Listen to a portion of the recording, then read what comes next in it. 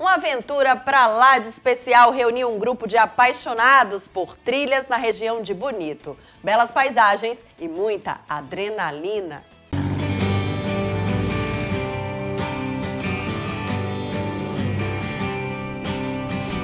Jipes, quadriciclos, UTVs e todo tipo de veículo que tem tração 4x4 pegaram a estrada rumo a Bonito, em Mato Grosso do Sul. Essa cidade cedia pelo sexto ano consecutivo uma das mais divertidas e emocionantes provas do off-road nacional, o Bonito na Trilha. O evento é dividido em três dias e a base dos jipeiros é o Hotel Zagaia, um luxuoso e confortável resort que tem ótima estrutura para atender o evento. Os hóspedes, muitos vindos de outros estados e países, ainda aproveitam para conhecer o lugar, considerado um dos melhores destinos turísticos do Brasil. Mas o negócio aqui é lama e muita aventura.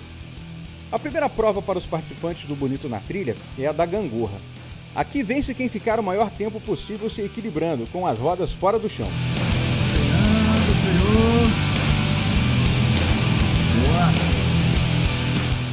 Picape, jipes, UTVs e quadriciclos enfrentam a prova num clima de muita descontração. Segura, segura!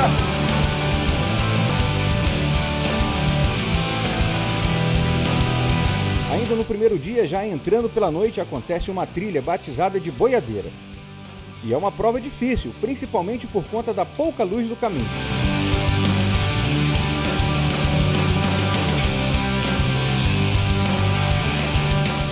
Muitos acabam atolados e precisam de ajuda para sair da lama.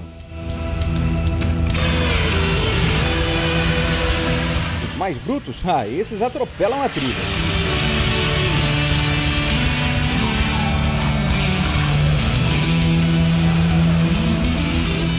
Quando amanhece no segundo dia do Bonito na Trilha, as máquinas e seus pilotos já estão prontos para mais emoção.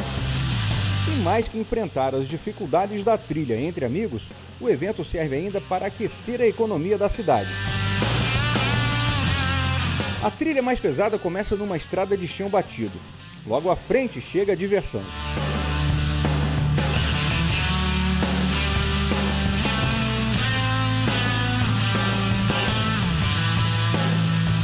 A profundidade em alguns pontos dessa lagoa passa de 80 centímetros, colocando os veículos à prova.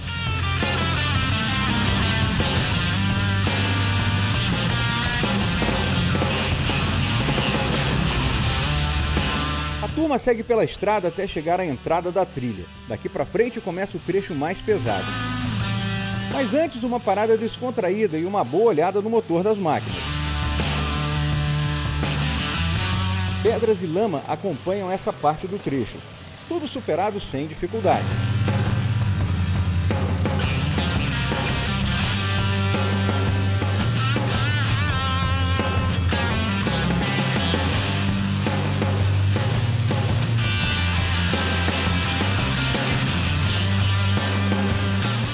Na parte mais difícil do caminho começa o festival de veículos encalhados na trilha.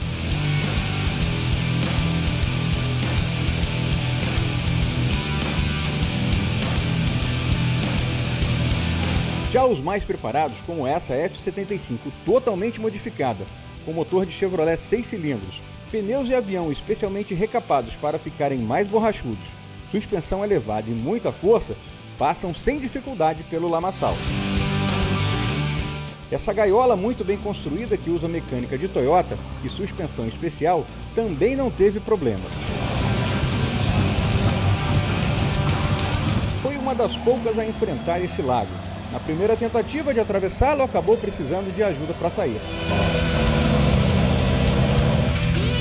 Na segunda, aí sim, venceu o obstáculo.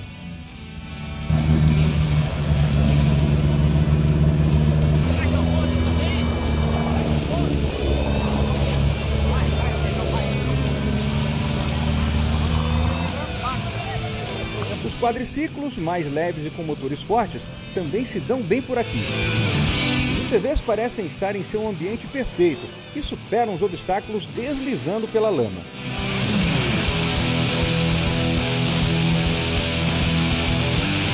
Uma boa parada para o almoço pantaneiro é sempre muito bem-vinda pelos participantes. A volta da trilha dividiu o grupo. Uns escolheram voltar por um caminho mais tranquilo, mas tem sempre a turma que curte mais adrenalina ainda e acabou voltando pelo mesmo caminho. Aí foi um festival de jipes atolados.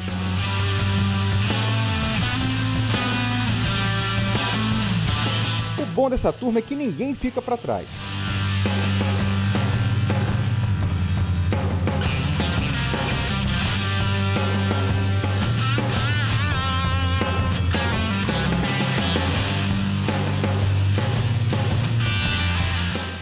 Último dia do Bonito na trilha, os participantes encararam um circuito fechado, colocando mais uma vez pilotos de suas máquinas à prova.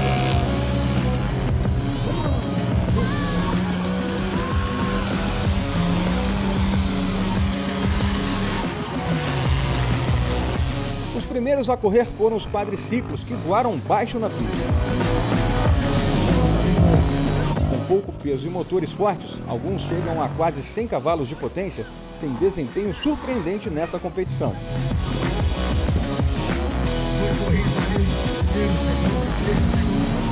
Depois foi a vez dos UTVs, igualmente fortes, uns com mais de 150 cavalos de potência. Aceleraram muito, espalhando lama pela pista. Por último foram os jipes. Mais pesados fizeram um circuito mais longo, os Jeep Stroller, comum nas trilhas de todo o país, são bastante ágeis e aceleram rápido.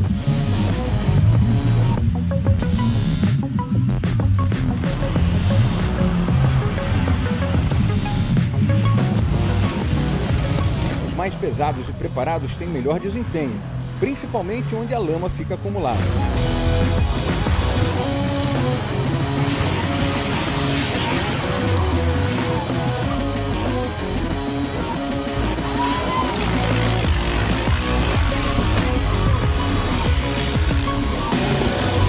Essa gaiola foi a vencedora da prova. Ela literalmente voou pela pista.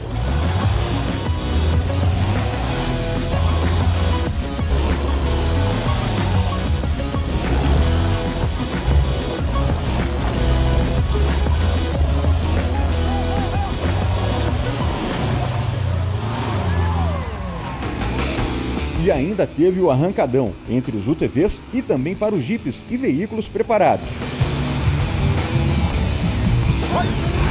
Na categoria UTV, quem levou a melhor foi Leandro Gameiro, numa emocionante disputa.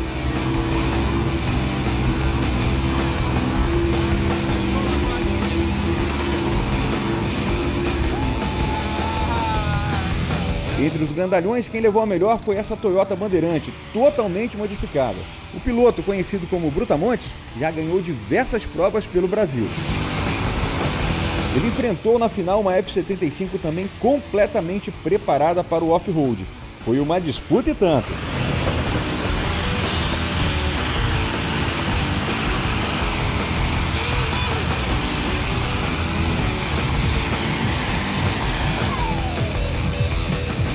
E as mulheres tiveram uma prova só delas, e a disputa foi muito acirrada.